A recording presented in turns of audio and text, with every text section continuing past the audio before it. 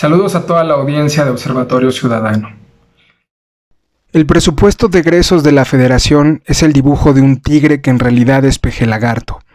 Un presupuesto que tiene cuatro propósitos, construir clientelas, apuntalar los proyectos del presidente, no del Estado, cubrir los errores ominosos de la fallida transición al INSABI, que dejó sin servicios médicos a muchas personas con un presupuesto mediocre, y consolidar la militarización del país un presupuesto que se inscribe en la lista de agravios de una administración centralista, mediocre, autoritaria, que le ha dado la espalda a muchos ciudadanos que votaron por él y a muchas de las agendas que lo acompañaron. Resulta curioso que la bandera de Ayotzinapa y las escuelas normales que se desbordaron en su apoyo al obradorismo no se vean reflejadas en el proyecto de presupuesto para 2021. La Secretaría de Hacienda prevé que el presupuesto para las escuelas normales tendrá el recorte más drástico en los últimos 16 años.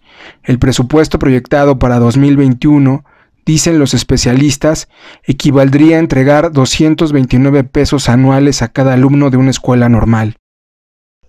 Otro de los agraviados es cultura. Aunque en teoría aumentó su presupuesto respecto al año pasado, en la práctica es mucho menor al desglosar por órganos desconcentrados, INA, INVAL, IMCINE, Radioeducación, Centro de Capacitación Cinematográfica, por mencionar algunos.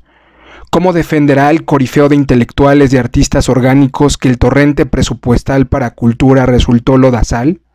Eso sí, para el Centro Cultural de los Pinos, proyecto del presidente, no se escatimarán recursos. Asimismo, el presidente que criticó en cuanto mitin podía la militarización del país y sus consecuencias, gritaba que él sí regresaría al ejército a los cuarteles, que él sí dedicaría a atacar las causas estructurales del crimen con una estrategia integral, todo eso solo existió como retórica en Baucabotos. Con la cancelación del programa para el fortalecimiento de la seguridad, Fortaseg, se deja a los policías de los 300 municipios en los huesos.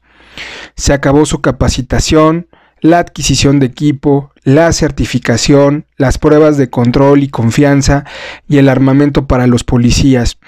Todo el peso recaerá entonces en el ejército, quien además del tema de seguridad se encarga ya de construir aeropuertos, sembrar árboles, entregar libros de texto, manejar pipas de gas y las que se acumulen.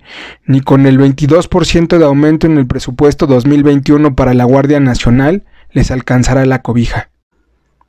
Por último, la agenda ciudadana en la que se montó el obradorismo irá desapareciendo gradualmente. Una vez instalado en el poder los viejos aliados del presidente, ya son comparsa. La apuesta es construir clientelas, consolidar el régimen autoritario, dotarlo de símbolos con proyectos faraónicos y tener el respaldo del ejército. Este presupuesto como ejercicio programático del gasto resultó una excelente guillotina con cargo al contribuyente.